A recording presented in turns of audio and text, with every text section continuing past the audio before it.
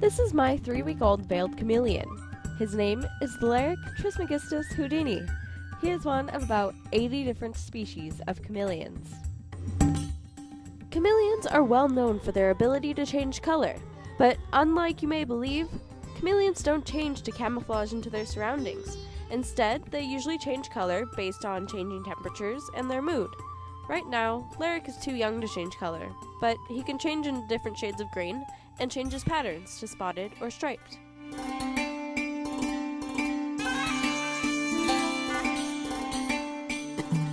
Did you know that chameleons have splayed feet and hands? This means that they have two toes on one side of their foot and three on the other. This allows them to perfectly grasp branches while climbing through bushes and trees. Veiled chameleons also have a prehensile tail that they use as a fifth limb. Probably one of the most well known facts about chameleons is that they have a long sticky tongue that they use to catch prey. The chameleon has the longest tongue in proportion to its body of any animal. It can grow up to one and a half times the size of its body. Their tongue allows them to catch prey that's far away, and it can be projected and returned within a blink of an eye. Here is a slow motion shot of Lyric eating a worm.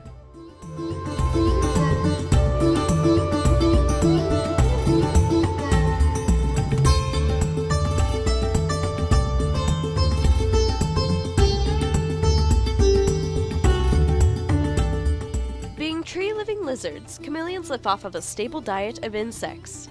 Their bodies are flattened from side to side and they are more or less leaf shaped. They remain still and concealed for long periods of time and wait for their prey to come near. When they move, they do so slowly and rock their bodies from side to side like a leaf blowing in the wind.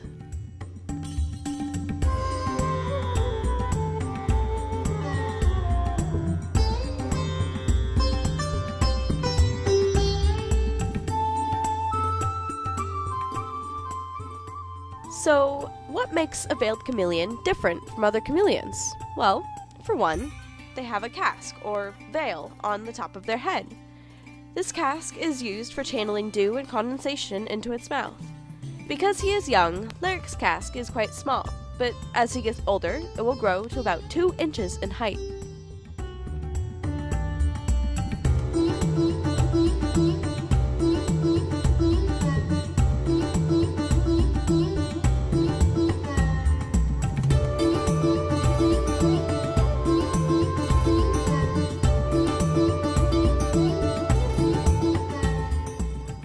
One of the most fascinating things that all chameleons have in common are their eyes.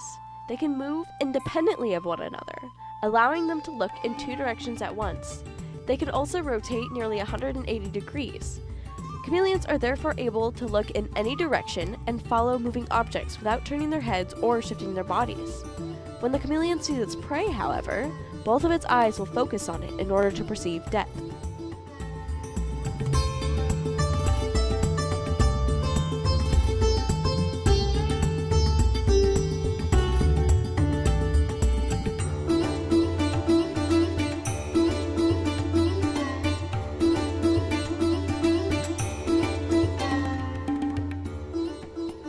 Short, Lyric likes climbing around all day, hanging out in the sun, and eating bugs. He's a pretty cool laid back lizard.